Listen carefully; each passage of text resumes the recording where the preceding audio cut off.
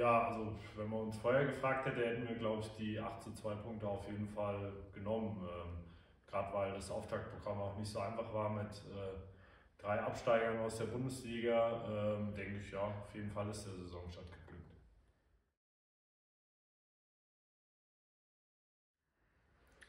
Ähm, ja, die Trainingswoche war so soweit gut, anstrengend natürlich wieder, aber ähm, ich denke, wir haben uns gut vorbereitet ordentlich Gas gegeben.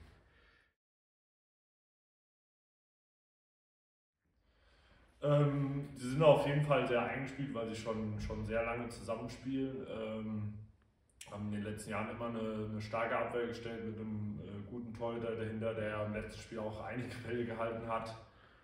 Äh, ansonsten im Angriff äh, kennt man ja Patrick Schmidt, der Dreh- und Angelpunkt ist, zusammen mit äh, Kaufmann. Und ja, ich denke, die gilt es auf jeden Fall auszu auszuschalten.